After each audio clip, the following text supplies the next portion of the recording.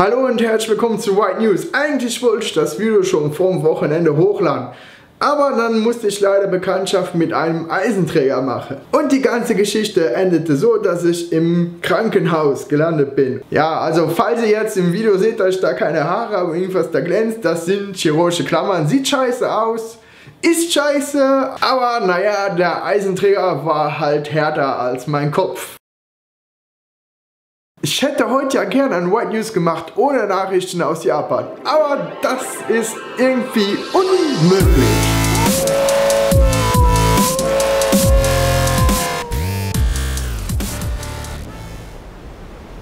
Bevor wir jetzt zu den Japanern gehen, gehen wir mal gleich ins Saarland, denn da ist der Wolffleisch wieder zurückgekehrt.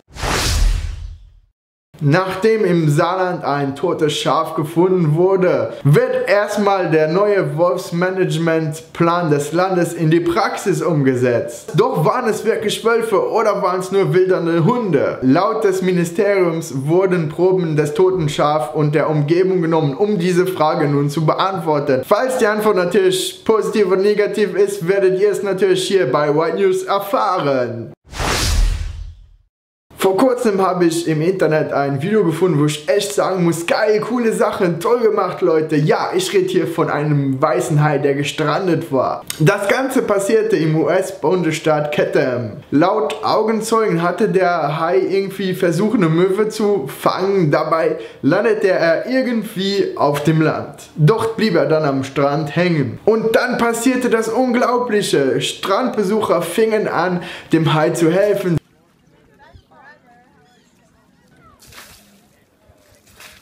Aber der Hai kam noch immer nicht vom Strand weg. Dann nahmen sie ein Seil, bindeten das um die Flosse und ziehten den Hai mit einem Motorboot zurück ins Meer.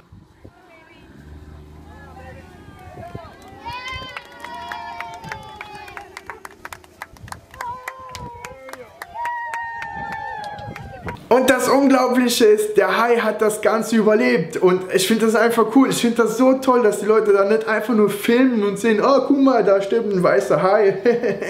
nee, sondern dass die aktiv geholfen haben und den Hai so gerettet haben. Das ganze Hai-Rettungsvideo ist schon etwas alter, aber ihr findet den Link zum Video in meiner Beschreibung.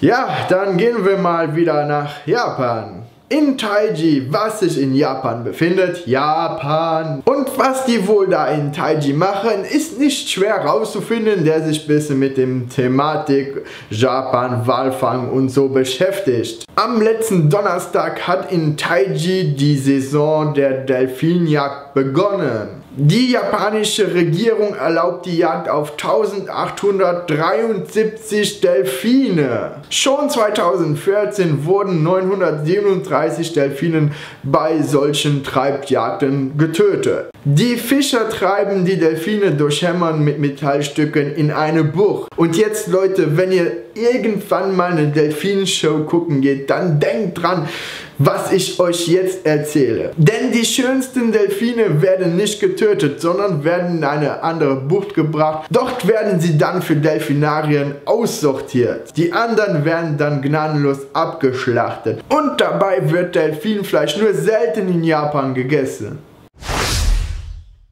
Brasilien plant eine Gesetzesänderung, die es legal machen würde, die wertvollsten Gebiete des Amazonas wirtschaftlich auszubeuten. Und das wiederum würde heißen, dass 1940 Schutzgebiete bedroht sind. Aber damit nicht genug. 672 indigene Territorien werden dann auch mit bedroht. Diese naturverbundenen Völker leben im Amazonas. Wenn der Amazonas stirbt, wäre das auch das Aus für diese Völker. Aber nicht nur diese Völker sind betroffen, sondern wir alle sind betroffen. Denn der Amazonas stabilisiert das globale Klima. Ohne den Amazonas würde der Klimawandel drastisch beschleunigt werden.